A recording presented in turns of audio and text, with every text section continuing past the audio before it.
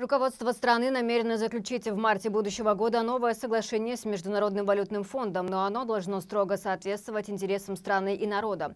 Об этом в эфире передачи «Дело принципа» на нашем телеканале заявила председатель парламента Зинаида Гречаны, напомнив, что подобное уже успешно практиковалось в 2006 году. Мы будем сотрудничать со всеми.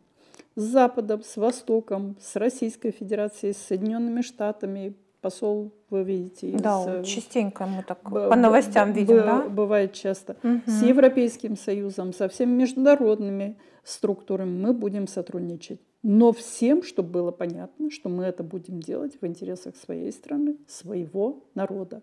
И будем искать, как защитить, защитить интересы своего народа. Это мы будем делать постоянно.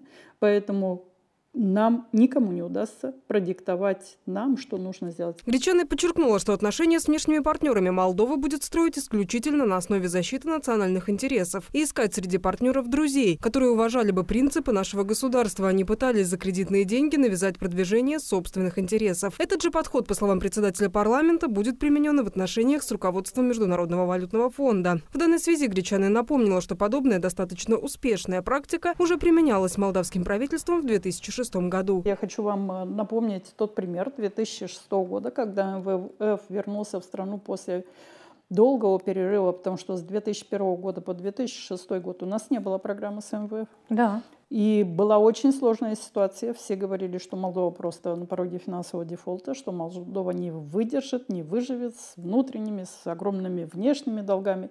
Оказывается, если правильно руководить, правильно управлять, в том числе и финансами страны, тогда можно выдержать, можно выжить и еще развиваться, и повышать и пенсии, и зарплаты.